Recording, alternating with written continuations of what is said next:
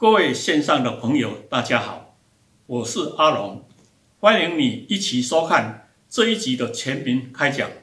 今天是世界自由日，是为了各国自由民主的发展，期盼聚集全球爱好自由的人士所诞生的一个自由日。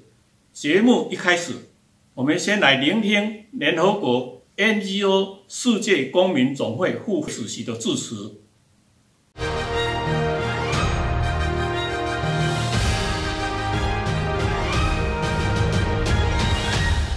各位贵宾、各位好朋友、各位女士、各位先生，大家好！世界人权宣言提到，人皆生而自由，在尊严及权利上均各平等，人人有权享有生命、自由与人身安全。中华民国宪法亦明文规定。人民身体之自由应予以保障。今日很高兴与各位爱好自由与和平的正义之士共聚一堂，感谢大家以热忱与专业见解，共同响应“一二三”世界自由日的精神，为自己、为世人尽一份心力。美国总统罗斯福提出，全球人类应享有言论自由、信仰自由、免于匮乏和免于恐惧的自由。这四项基本自由，其后成为联合国世界人权宣言所声明的自由精神，提醒各国政府制定与实行各项政策时，亦应。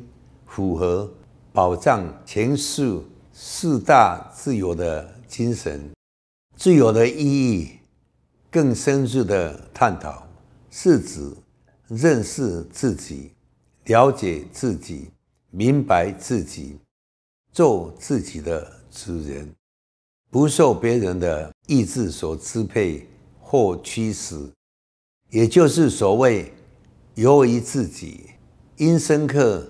理解了本来的我，而能真正自己做主。古拉丁语中“自由”的含义是指从束缚中解放，是自己的自主、自立、人格上的独立，由于自己，忠于自己。如此形而上的自由意志，更不能被任何形式的暴力。所侵夺。西元一七七五年，美国独立战争时，政治家派屈克·亨利发表了名言：“不自由，无宁死。”意指自由比生命更可贵。古东方哲人对自由也有其定义。老子说：“民不畏死，奈何以死惧之？”孟子说：“富贵不能淫，贫贱不能移，威武不能屈。”都在宣示生而为人，源自天赋且最珍贵的自由意志，不可被剥夺，即是人权的概念。四千年前的哲学家都有如此先进的思想。现今民主时代，更不应让自由与人权开倒车。纵观人类的历史发展，当社会越自由、越开放，丰富多元的思想与文化便得以交流，各国贸易往来频繁，经济和文明也会随之繁荣与发达。比如汉唐盛世，欧洲文艺复兴时期可证，以史为鉴，可以知兴替。而现代民主社会，政府应更加落实保障人民的各项自由权，包括言论自由、思想自由、人身自由、宗教信仰自由与居住迁徙自由等等，不应该因任何目的而假借公权力之名，行剥夺人民自由之时，甚至利用刑事、税务等各种手段去迫害任何个人与团体。发生在台湾被誉为“法税二二八”的太极门案件，就是少数违法官僚透过法税手段迫害人民长达二十五年的真实案例，是民主国家最好的警惕。人们身处科技发达、物质便利的地球村中。正面临心灵空虚与失衡而产生的各式冲突与灾害，人与人之间的隔阂，国与国之间的纷争，加上人与自然的失衡，各种危机一触即发。面对疫情、卫生各种严峻的生存考验，内心对自由的。向往与渴望却未曾停止，在紧绷的情势下，人们的一线生机在于找回内在的良心与诚实。唯有真心忏悔反省，才能彻底改过向善；唯有真心赎罪与行善。才能累积善缘与福报，化险为夷。良心的灯塔照亮每位生命航海者在茫茫大海中回家的路。聆听并实践天赋之良心，就领悟真自由。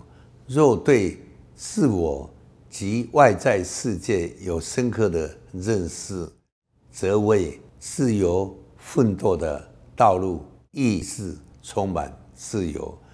唯有每个人以爱与良心彼此对待，互相尊重，才能共创理想民主的真自由。政府以民为本，以法为规，保障人权，让人民享有自由与安全，才能民富国强。人生在世，草木一秋，百年之后所留为何？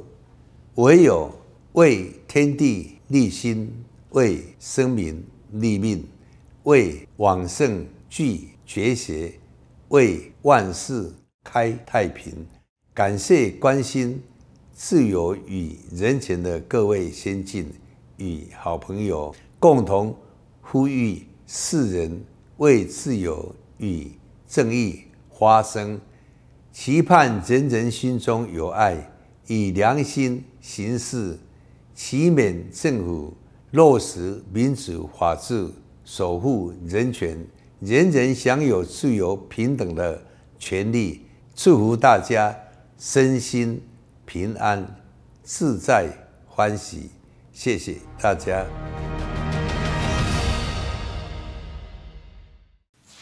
虽然台湾号称亚洲民主的灯塔，但台湾有真正的民主自由吗？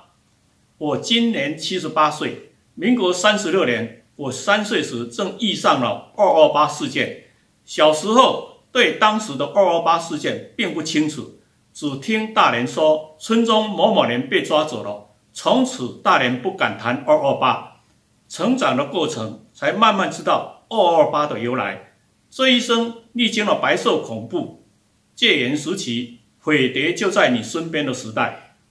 民国七十六年戒严解除，但是在八十五年，我却又遇上另一个被专家学者称为“法税二二八”的太极门事件。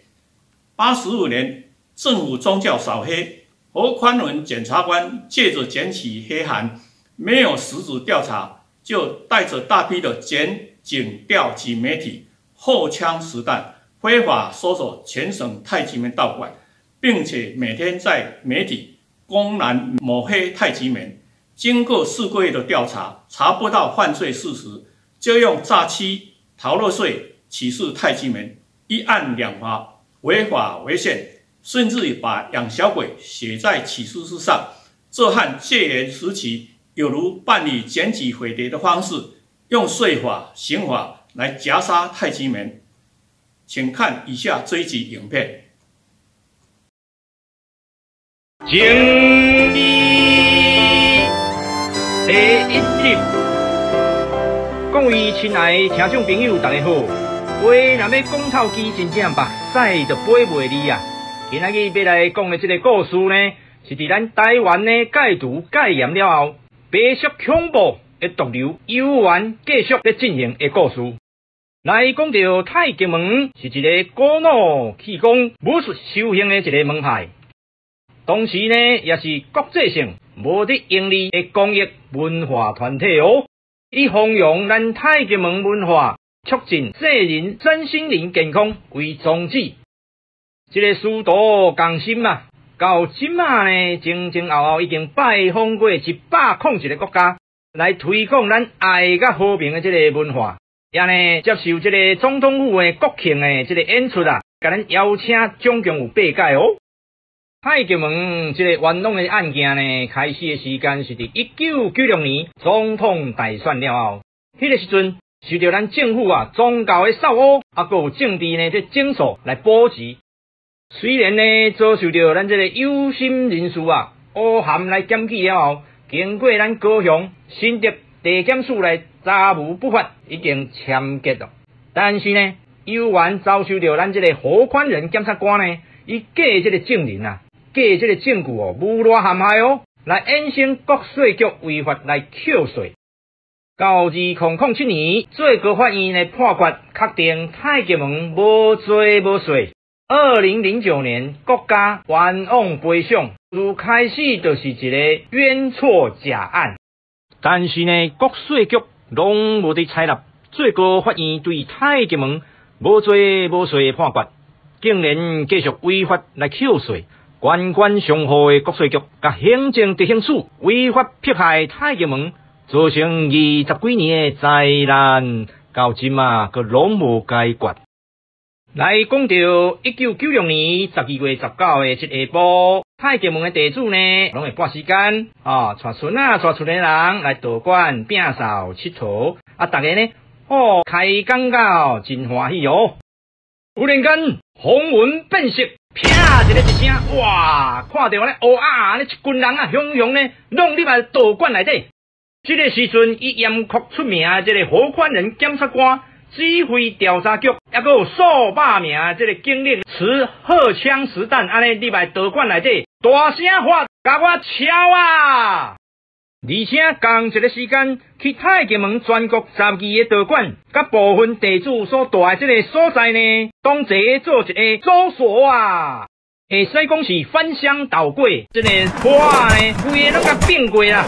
哇，咱这个规个安尼大有无？安尼大大细细物件，安尼规个拢伫涂骹底，包括一寡影带，甚至呢，太极门地主暂时放在道观的个人用品，全部拢互伊收收走。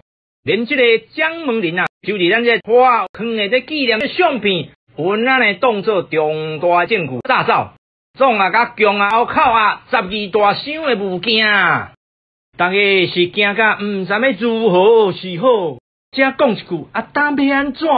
怎么办？最后来决定，咱来等咱师傅倒来，详细了解到底是安怎，再过来参详啊。但是。天暗咯，半暝咯，时间一分一秒安尼来经过，师傅东江并无转来。蒋门林来到调查局了后，对所问的这个代志呢，一一据实来回答甲说明。但是呢，调查局的表情，看伊规个问的口气，心内在想的是安怎来要互这个调查结果。来符合检察官心内已经编好这个故事的剧情啊，因此呢，这个蒋门林等调查局比以上地检署来接受这个侦讯诶同时呢，迄天的暗时啊，新闻已经大肆来播放搜索这个画面。隔天呢，要出刊的这个报纸呢，头条的新闻也一定印上这个罪名。蒋门林嘛，当场都被收押了。伫案发的当时，蒋门林的夫人才动员被捕啊，手术啦，无偌久的时间，伊接到地主的电话，书被收押咯。何况人检察官放话，要找书友去问话。准讲地主烦恼伊无法度承受长时间的侦讯，但是呢，伫接到地主的电话了后呢？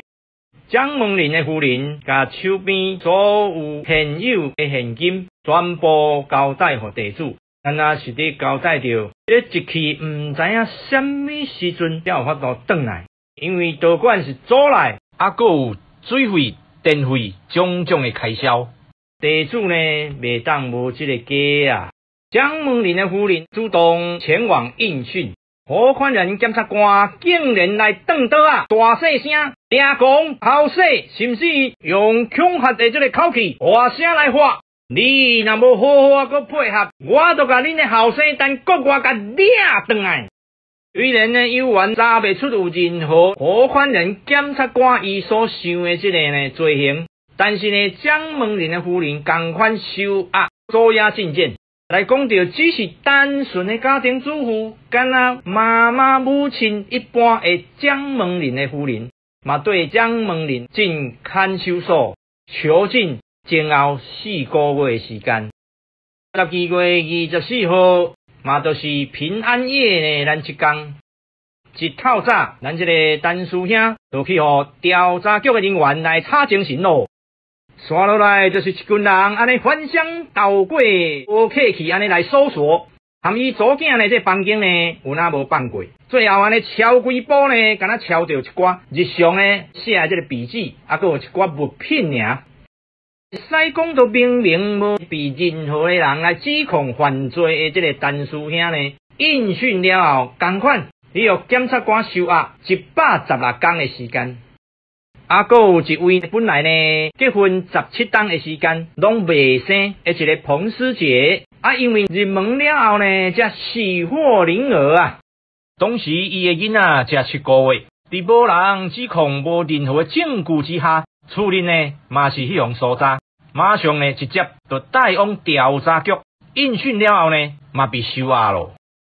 但是呢，伊是老师，何款人检察官无依法将收押进监的消息通知伊处理的人，甲服务的学校，规个人犹如人间蒸发，大家心急如焚。学校去函台北地检署来查，一直到一礼拜了后，才接到回函，确认伊已经被收押七天咯。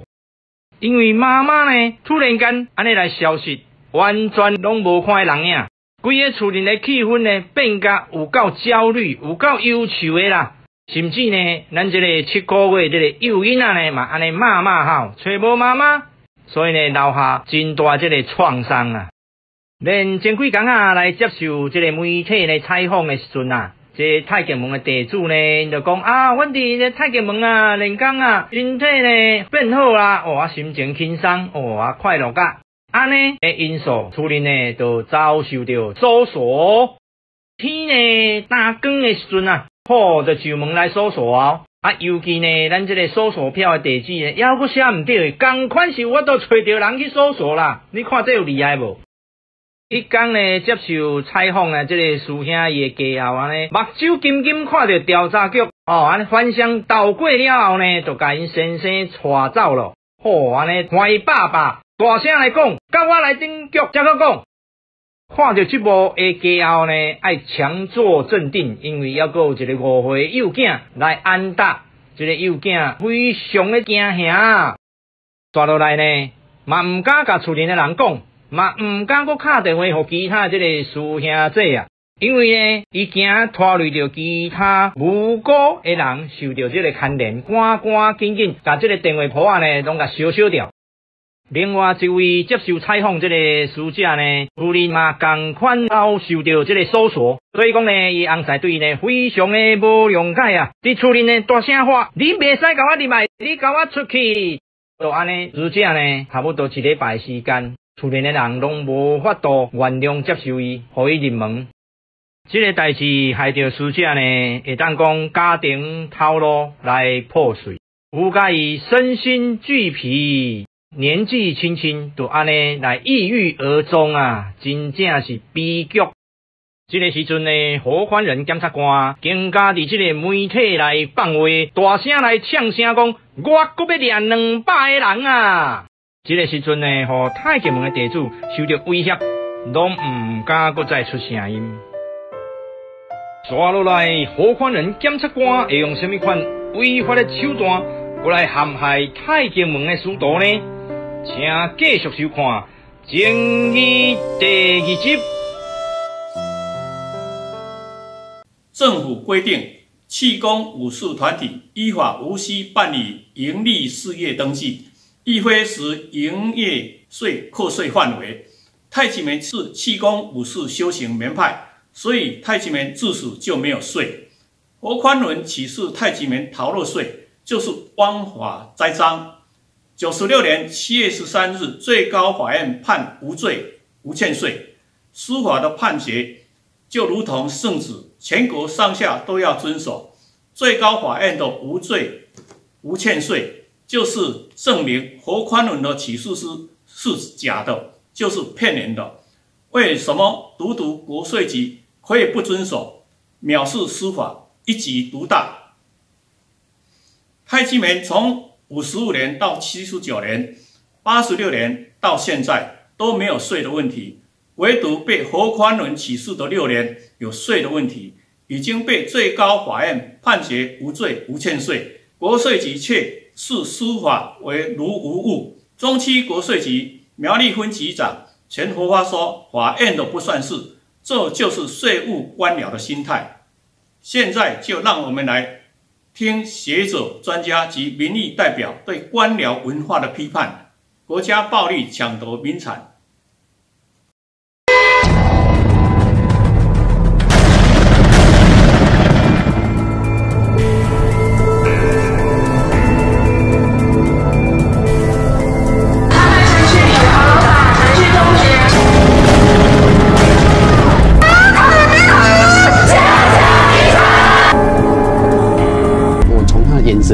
看到一丝闪过一丝的阴影，他应该有养小鬼这个事。一个检察官用你的眼神就可以判断是不是要起诉你的话，那我们台湾哈就永无宁日。经过我们法院三审的定验以后，我们详细的论述起诉书哪里不可采，税监单位如果以这个起诉书来作为科税的根据哦，我觉得是匪夷所思。判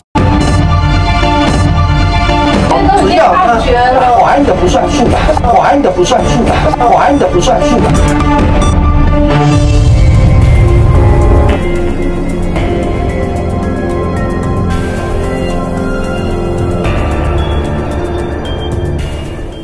这个呢，的确的的确确的啊，不是不是代，是属于净司理，是属于赠与，而不是所得，就没有所谓的所得税的问题。你们可以到监察院的网站去看看，我有七点的纠正。每一个纠正的时候，国税局就说啊，我们呢弄错了。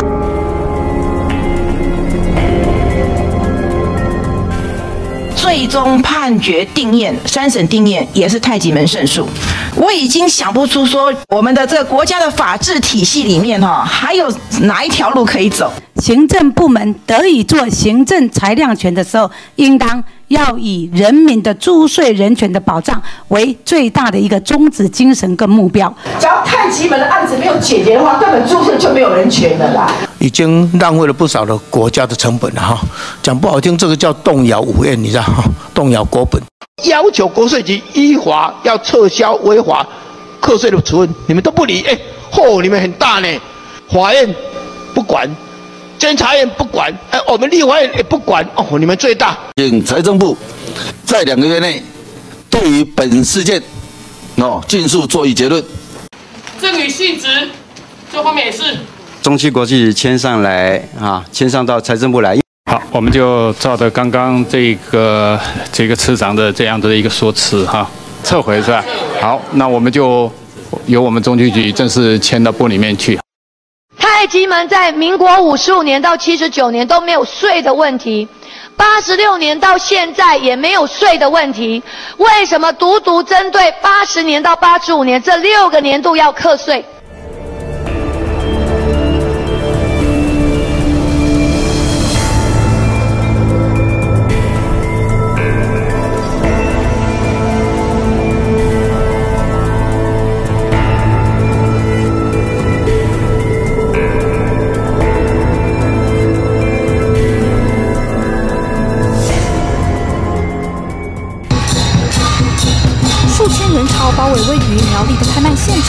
就算眼前铁门深锁，民众还是以静坐等方式誓死保卫土地。上万人受害的太极门案件，执行署依旧要拍卖太极门土地，去还一笔十三年前就由法院判决无罪的错误税单。离谱的行径堪称是台湾奇观。八十一年度的税捐，既然是有问题的判决，行政执行署就不应该去执行它。那他们为什么要执行它呢？就是奖金的问题。那如果太极门案件都会如此，那么一般小老百姓会不会遇到同样的问题？一定会的。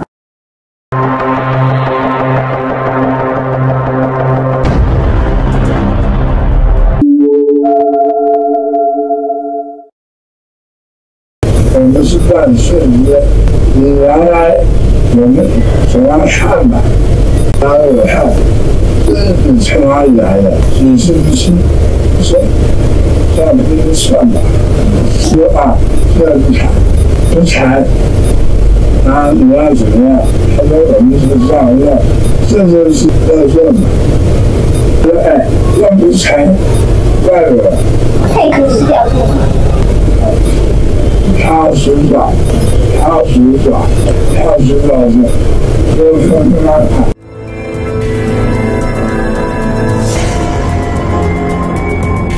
但是呢，太极门案，八十五年十二月十九，查到搜查到两本存部六十一万，结果第二天的报纸说，太极门师傅有诈欺收入，换那个补习班的所得三十一亿，然后呢？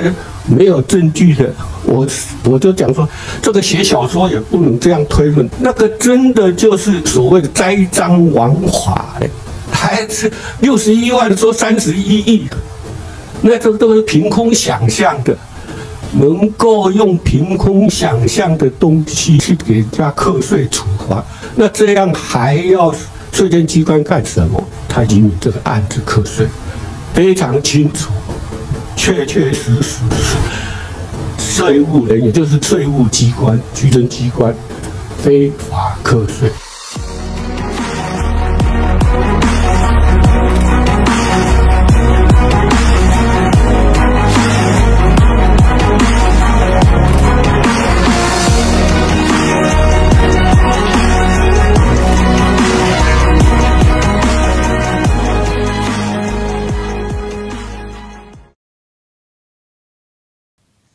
六年的税单，在一百零八年底，国税局将五个年度的税额更正为零，却让同样性质的八十一年度税单继续执行，甚至在一百零九年用这张假税单，将太极门位于苗栗山区的修行预定地违法拍卖，并收归国有。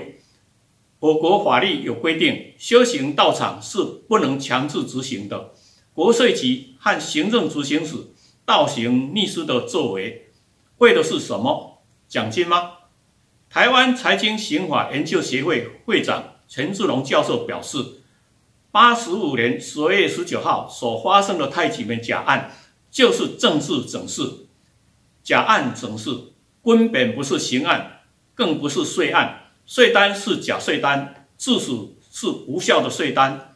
这无效的税单却被一批政府官僚用来迫害太极门师徒二十五年，还没完没了。这些官僚为什么可以我行我事、为所欲为？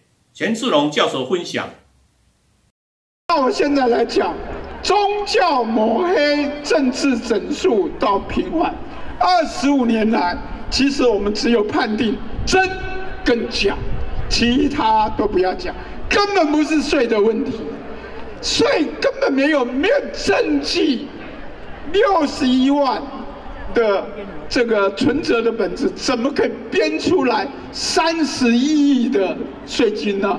这个是什么的五千倍？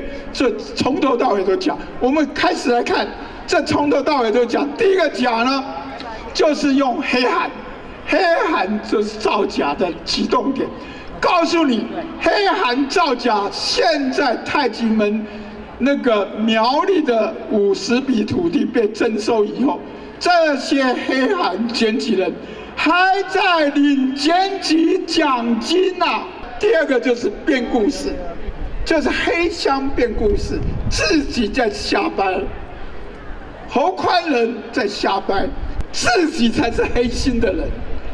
自己黑心的人看别人是宗教是黑的，其实是宗教抹黑，竟然写成宗教扫黑，所以在编故事，编什么样故事？编竟然可以桃木剑养小鬼。就是用十字架去养魔鬼，有没有可能？不可能！这个瞎掰王。再来呢，先媒体后司法，透过他的应用媒体造假，所以一二一九当天媒体就来一起来报道，所以媒体是台湾的乱言，因为他没有灵魂。再来这里讲了捡起人蔡家龙、王培杰、贾建立，这些都是假。然后呢，政治整数抹黑，就像冠状病毒一样，传染病毒抹黑你，然后害你。然后呢，破坏者呢有 A、B、C、D，首脑，首脑就是。当时一九九六年的总统跟副总统，他们互相推责任，总有一个副首脑呢，就是部长廖正豪。再来呢，破坏者侯宽仁算是攻击是第七级的啊。再来执行的人呢，就是税吏、警察，还有荷枪实弹的人，这些人。把一个台湾的民主法治，在一九八七年以后，一九九六年十二月十九，竟然可以玩这种故事书，对不对？所以这个东西现在一个一个拆穿，全部是假。所以税单也是假的，税率这里根本没有任何调查。这个史业生，然后呢，史业生税率呢，在一九九七年四月九号为证，然后呢，史业生呢。也没有做任何东西，当时审查二科三科根本没有去查，用后来抄法务部呢调查局台北市调处的笔录，说这整个都是假的，从头到尾都是假，没有个是真的。整个二十五年的案子就是在对抗假，大家知道太极门走得很辛苦，其实不止太极门辛苦。很多人都很辛苦，因为太极门起码要出来敢对抗，其他人默默的就被他糟蹋了，关起门来就杀了。所以太极门是在为台湾的税法、检察制度、刑事制度、税务制度、行政法院制度，还有执行署制度。对抗公权力，太极门是人前的太极门，没有太极门，台湾不可能翻转。所以我们应该要知道，今天不是太极门的案子，今天是你我都遭受这个可怕的人。他可怕人很可怕，他每天都是在害我，他随时吃饱就等着要害你。财政部历年来共颁布九千五百二十八则课税相关解释函，财政部长签署就生效，没有经过立法院的三读，这就是行政权侵犯到立法权，让税务官僚用来乱开税单的利器，造成许多烟税假案，甚至不少解释函凌驾法律、凌驾宪法。另外，行政院法务部执行时却拥有司法权，用管收、限制出境、冻结资产、拍卖资产等，是破坏宪政体制，制造冤案，让台湾的民主倒退。戒严时期的遗毒就在这些官僚的行为上。财政部、国税局、法务部行政执行署是台湾民主倒退的两大乱源。小英总统的转型正义有看到真正的弊端所在吗？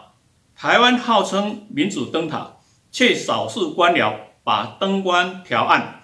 要能法税真改革，实行真正的民主，让台湾的灯塔再度的灿烂发光。谢谢大家，让我们一起来。欣赏这一首《为爱勇敢》，承受了二十四年的冤屈，依然屹立不摇，为的是什么？为的就是要让我们的台湾更好。